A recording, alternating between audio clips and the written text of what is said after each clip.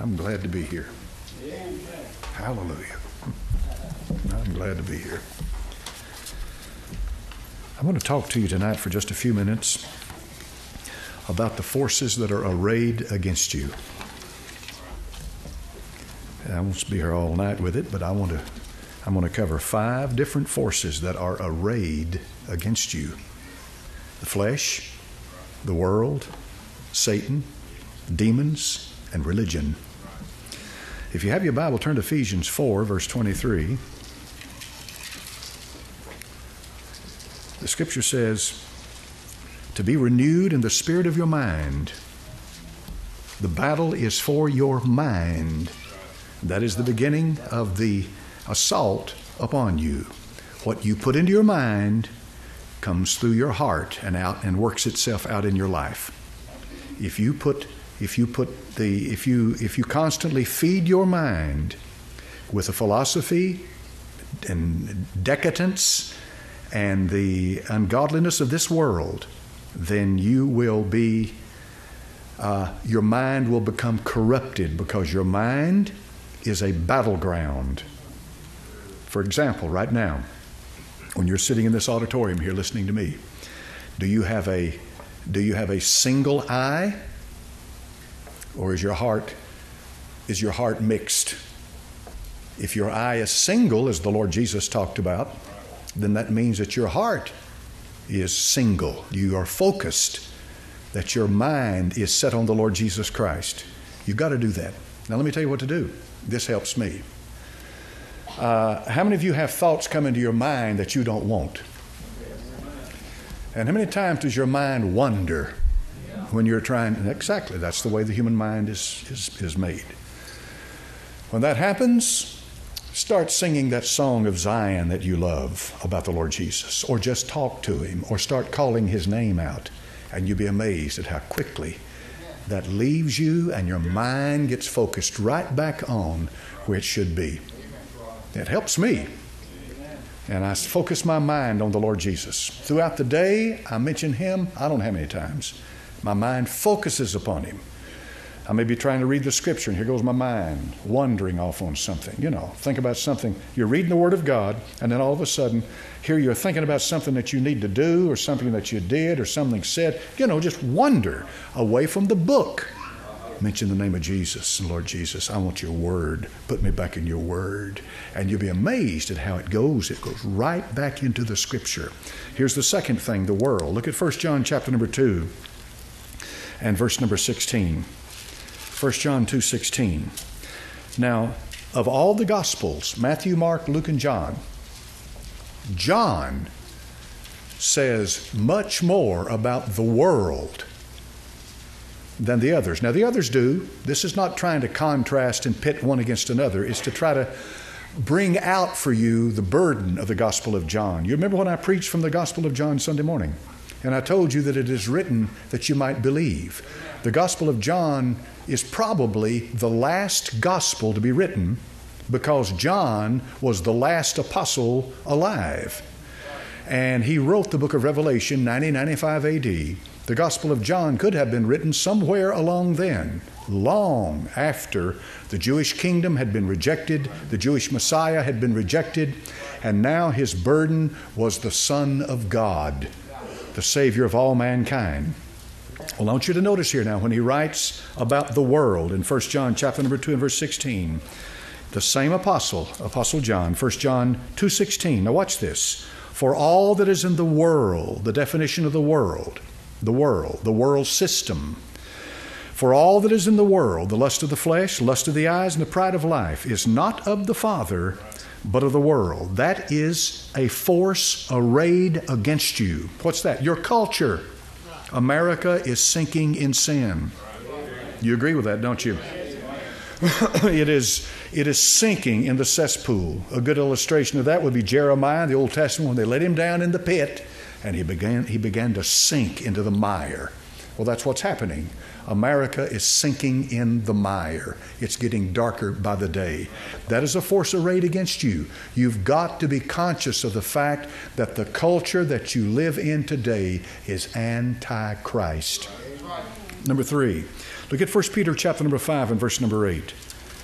This is a force arrayed against you, and that is Satan. 1 Peter 5 8. The scripture says, Be sober, be vigilant, because your adversary, the devil, as a roaring lion, walketh about, seeking whom he may devour. that word devour is remarkable. it doesn't mean where a, a predator would kill its prey and eat it. Uh, you know, li- what it literally means is that if you're literally swallowed down, gulps you down, finishes you off. That's his purpose. Satan wants to destroy you. Now, watch carefully in verse number nine. This is in the same context. Whom resist? Resist the devil. That's the way to deal with him. Resist him. The Lord Jesus resisted him when he said, Get thee hence. Resist the devil. Whom resist steadfast in the faith. He assaults your faith, knowing the same afflictions are accomplished in your brethren that are in the world. If you see the afflictions, you understand that we are not exempt from the sufferings that come upon mankind. The fact of the matter is, that which works for evil to men works for good to God's people. Yes, it does. Affliction or suffering or anything like that has a purpose for God to use for the glory of God. The Bible said, He that hath suffered hath ceased from sin. The Apostle Peter says a lot about suffering. And he says, if you suffer, commit your soul unto Him as to a faithful keeper, to a faithful God. Commit yourself to Him. Suffering in this life is to fill up the measure of the sufferings of Christ. That's a strange thing if you don't think about it. But if you begin to think about it, you say to yourself, well, he suffered, didn't he? And he, he suffered uh, when he was in this world because he was not of this world. And not being of this world, then he could never be comfortable in this world. He could never call this world his home. He was passing through this world. He said, I'm of, not of the earth. You're earthy, of the earth. I'm from above. So the apostle says, resist him steadfast in the faith, knowing the same afflictions are accomplished in your brethren that are in the world. When you do suffer afflictions, that's going to happen because that's part of what is happening now to you as a Christian, preparing you for what God has in store for you in the future. For he said, I reckon the sufferings of this world are not worthy to be compared with the glory that shall be revealed. We are one day going to reign with him because we've suffered with him. If you suffer with me, you'll reign with me. All of the future is not all that clear, but there's one thing's for certain the future is the Lord Jesus Christ. The future is not what he makes, the future is him. Remember that. The future is him. And so the Lord Jesus Christ is the way into the future. And he's not finished with men when he raptures the church. When he calls his bride out of here, he's still not finished with mankind. And he's preparing us for something that's wondrous in the future. So Christ will be formed in you if you'll allow yourself to be led by the Spirit and humble yourself before the mighty hand of God and allow God to chasten you as a son. In other words, instruct you as a son. And don't rebel against him. The fourth power arrayed against you, 1 Timothy chapter number 4 and verse number 1. The fourth power, demons. Daimonion. 1 Timothy chapter number 4 and verse 1. The Spirit, capital S, speaketh, express, speaketh expressly that in the latter times some shall depart from the faith. Now, the faith is used here in the sense of all of the collective belief in Christ, the truth as it has been revealed to mankind, the truth as it is in Jesus, what we know to be true. Giving heed to seducing spirits and doctrines of devils. Notice the doctrines of devils. That is a power arrayed against you. What does that mean? That means that these are demonic doctrines. The New Age movement is loaded with demonic doctrines. What's that? You're God. No, you're not God. But the New Age movement teaches that. The New Age morphs into all kinds of various forms, shapes, doctrines. And these doctrines are very prevalent today.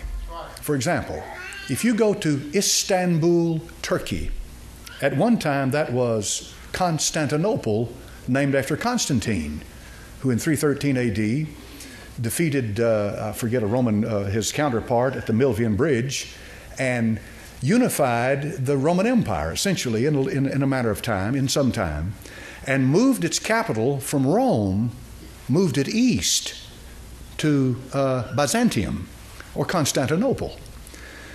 There is a church there in Constantinople that is called Hagia Sophia. It's no longer a church, it's a Muslim mosque. But the word Sophia is used to name that church. Now, what does the word Sophia mean? Some of you should know. Wisdom. Wisdom, Sophia, means wisdom. It's the feminine of, of, of, uh, of, form of wisdom, all right? So it is the church of the holy wisdom, Hagios, Hagios Sophia. Hagios means holy, holy wisdom. It is the church, therefore, of the feminine goddess.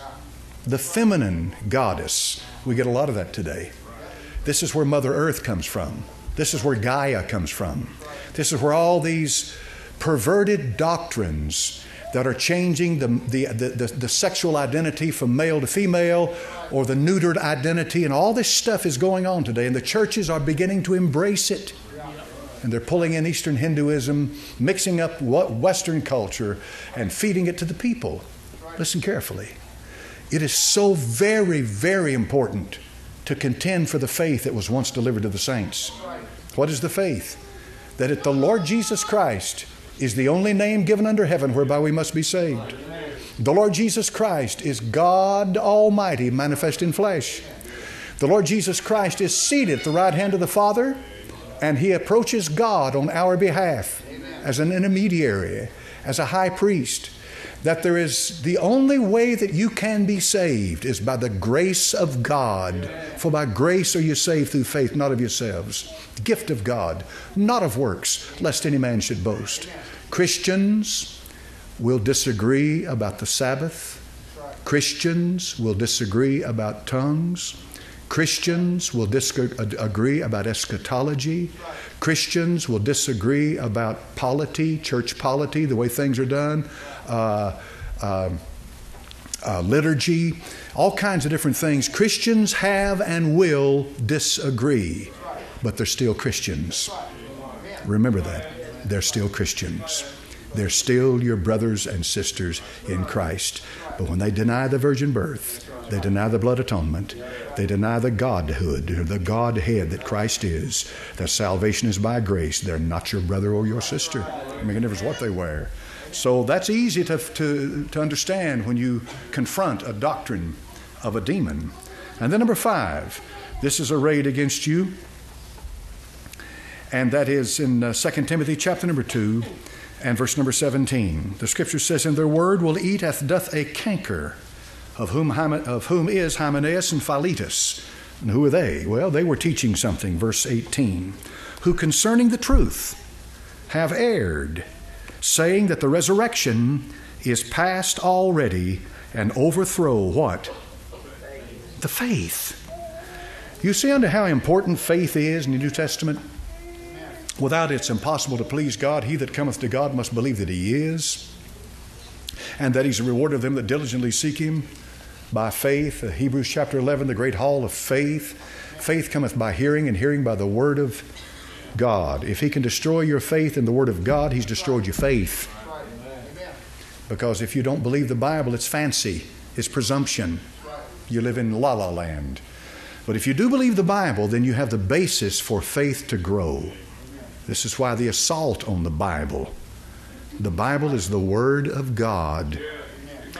Now, Philetus and Hymenaeus and Philetus had taught the resurrection was past already. You could look at that in a number of different ways. Probably they spiritualized the resurrection and said it was not a physical event. And by doing that, then some of the people thought, well, I've missed it. I mean, well, my loved ones, the graves haven't opened. They're still out here. I mean, what good is this? If Christ be not risen, then our faith is in vain. Your loved ones have died in vain. 1 Corinthians 15 says, But now is Christ risen and become the firstfruits of them that slept. Hallelujah. Glory to God. If he can destroy your faith in the resurrection, then he's destroyed you completely because all you'll do then the rest of your life is compromise and you'll never believe anything. And that's exactly where Christianity, quote unquote, has arrived in this country. Now, now, what is your defense? I'll give you three things tonight. These are your three things that I've listed as a defense against these five enemies arrayed against your faith. Let me go through them again the flesh, the world, Satan, demons, and religion. A lot more could be said about these five things than I said tonight. But I'm going to get down here to what is your defense. Number one, the Word of God. In Matthew chapter number four and verse four, and I put it first because if you don't believe it, nothing, nothing else matters. Matthew 4 4. But he answered and said, It is written. Now, who did he say that to? He said it to Satan, the adversary. Man shall not live by bread alone, but by every word that proceedeth out of the mouth of God. Do you believe the Bible? That's very important, folks, because a lot of people don't. They believe the Bible is a good inspirational book that gives you good thoughts and, uh, and, and principles to live your life by. But as far as believing it, that it is accurate verbatim from Genesis to Revelation, the inspired Word of God without error, they don't believe that. But I believe that. So, the Word of God, uh, when he said to Satan, he said, Get thee hence. But how did he do that? He did that on the, the, on the authority of what he just quoted Man shall not live by bread alone. He quoted the scripture. It is written, verse 7, Thou shalt not tempt the Lord thy God. And then in verse 10, he said, Get thee hence. Matthew chapter 4 and verse 10 of the book of Matthew. The scripture. When times get hard, if you doubt, read the Bible. And when you read the Bible, say, Lord, open my heart to understand the Word and receive the Scripture.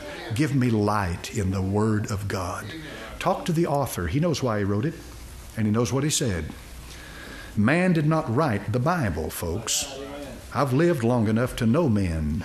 Men did not write the Bible. They did not get, and as the matter of fact is, it's, it's a book that took nearly 2,000 years to write, depending on when Job was written. We don't know who wrote Job. Nobody knows who wrote Job. There's a lot of people that believe that Moses wrote Job. If Moses wrote Job, he wrote it about 1400 BC. But we don't know that. We don't know that. And Job dates at 1900 BC. See? And the last book in the Bible is 95 AD. So figure it up 1900 BC to 100 AD approximately. How long is that? That's nearly 2,000 years. How in the world could men write a book separated by that span of time and not fill it full of all kinds of contradictions and errors and mistakes and you know fantasy and junk and garbage and yet one central theme runs through the whole book. And it complements itself because it has one author the holy ghost. Holy men of god spake as they were moved by the holy ghost. Prophecy came not in old time by the will of men they didn't just will this to happen, but holy men of God spake as they were moved, inspired by the Holy Ghost. The book is inspired, folks. Inspired. Not the same way Shakespeare's inspired. Shakespeare's beautiful language, but it's not scripture. There's a difference. This is inspired scripture. The second thing, what is your defense? It's the Spirit. In 1 John chapter number 2 and verse 27. 1 John 2 27. Going back to John again. And here's what he says, 1 John 2:27. He says the anointing which you have received of him abideth in you, and you need not that any man teach you. But as the same anointing teacheth you of all things and is truth, and is no lie, and even as it hath taught you, ye shall abide in him. The truth is very important to God. Sanctify them through thy truth. Thy word is truth. You shall know the truth, and the truth shall make you free. God knows your heart. He knows whether you want the truth. He knows if you want to hide behind somebody or something or some church. He does. That's where you need to get it, get it right with God. do you really want the truth? Because if you really want the truth, He'll give you the truth. He'll give it to you. Now look what He said in John chapter number 14, verse 17. John 14, verse 17. Here's what He said John 14, 17. He said, I pray the Father, verse 16, who send another comforter, that he may abide with you forever. The Greek word transla- translated comforter is parakletos, one who goes alongside of to help, comfort, inspire, instruct. Verse 17, even the Spirit of truth, the capital S, Spirit, Holy Ghost of truth. Now watch this, whom the world cannot receive. Isn't that amazing? They can never receive it. Why? Because it goes contrary to what they are. You receive it because it witnesses to who's in you. Amen. See the difference? It witnesses. Yes, that's right. What you know is true. It witnesses to it. Even though your, even though your mind may be corrupted and you and you repel it, uh, repel against it, it takes root because of who you are and who dwells in you, and it will eventually bring forth fruit because it's the good seed. So in verse number in verse number 17, the world cannot receive. Now when the Bible says cannot, it means it in the absolute sense. It is utterly impossible. Now I want you to notice in chapter number 15, verse 26, John.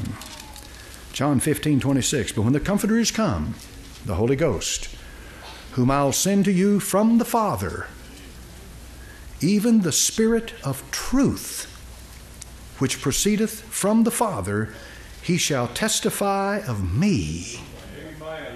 That's your defense against these five powers arrayed against you. Number one, you believe the Word of God and you quote it against your enemy. Confess it. Number two, the Spirit of the living God who lives within you. The Holy Spirit is the earnest of our inheritance. You're, when He's present with you, everything is okay. When He's not present with you, nothing's okay. But He's always there, it's just that you're not conscious of it all the time. And then John chapter number 16, verse number 13 Howbeit, when He, the Spirit of truth, is come, He will guide you into all truth. For He'll speak of what He hears in heaven. This guiding had a lot to do with the completion of the canon of Scripture. But it has a lot to do today with the understanding of that canon, the reception of the truth. But it had to do with the transmission of the truth to begin with. That means the writing of it, the giving of it. The six, the 27 New Testament books that make up the whole Bible, they came from the hand of God. Holy men of God spake. And then finally, not only is your defense in the Word of God, but in the Spirit of God, but in the blood of God.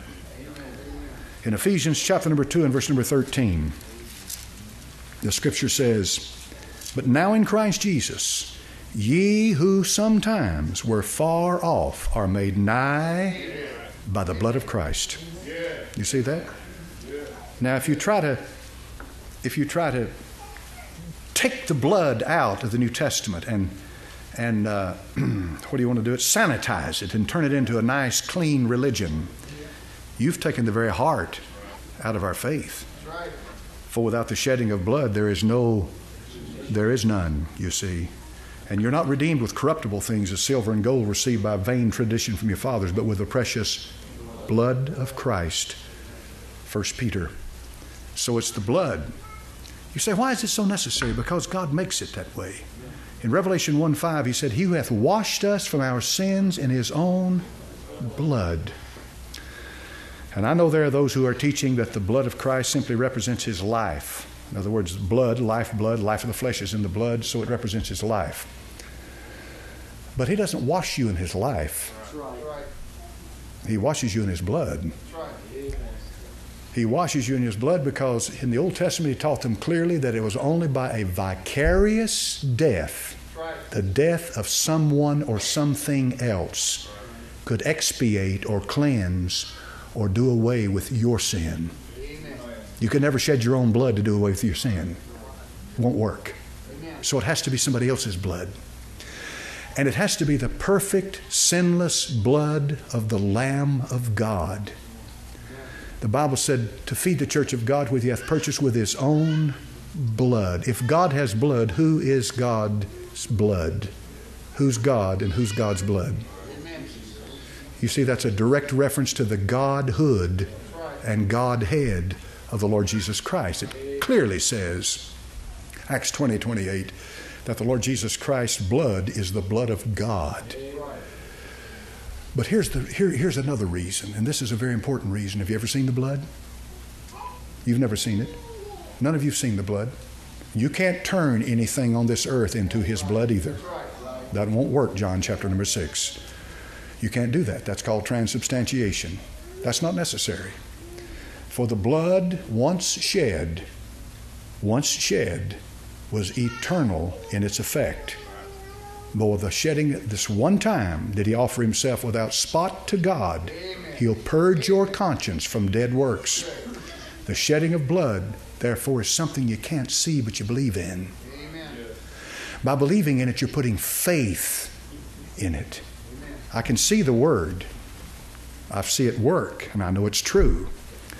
I witness the Holy Ghost. I sense him. I can feel him. I know he's here. But I can't see the blood. But that brings the element of faith into it. For without that faith, you can't please God. So, what am I doing? I'm putting faith in what somebody else did to take care of my sin. That's why it's so important. You see what I'm saying? This takes me out of the equation. My works can't work. It won't work. My good deeds won't do it. I can't add to it either. What I can do is, I can say, Lord God, you loved me enough to go to a cross and there die and shed your precious blood for my sins. I believe that's good enough. I believe that'll do the job. And I put faith in the blood of the crucified one. Now, what you've done when you've done that is you've exercised faith in the grace of God. For the grace of God that bringeth salvation hath appeared to all men, denying ungodliness and worldly lust. He has given to us the Lamb of God who has died for us in our place, shed his blood, not mine. I accept the blood sacrifice of my Lord Jesus Christ to satisfy God, and because of that, I can rest in his finished work. And when I rest in what He did for me, the grace of God brings salvation to my soul and washes my sins away when I've trusted Him.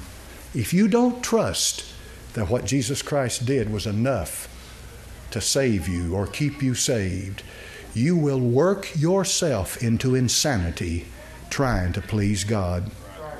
You want to please God as an effect of what's happened to you because you are saved, just like you want to keep the Ten Commandments because you are saved. Don't ever get the cart before the horse.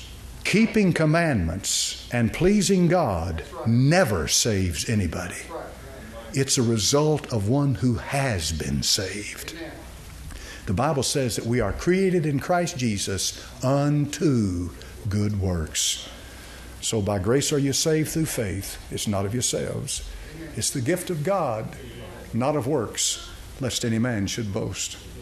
I'm not good enough to go to heaven. I never will be good enough to go to heaven. I can never do enough to go to heaven. I can never punish myself enough to go to heaven. I can't do it, folks. I can't do it. And on top of that, you are really calling God a liar. I want you to go back with me now to the book of First John that I preached on Sunday morning, and I'll close with it here. First John, chapter number 5.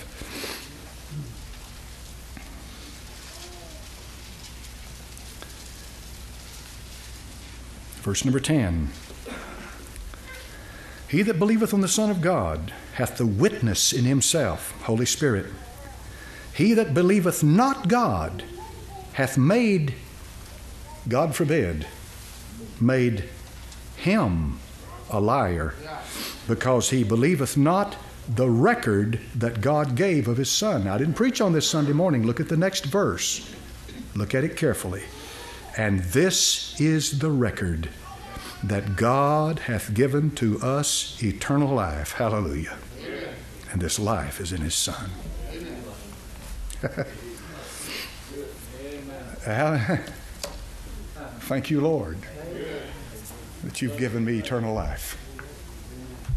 I'll not call God a liar. Bless the name. Bless the Lamb. Father, in Jesus' name, I ask you to use what I've said tonight. Glorify thyself, not me, but thee, Lord, and thee alone.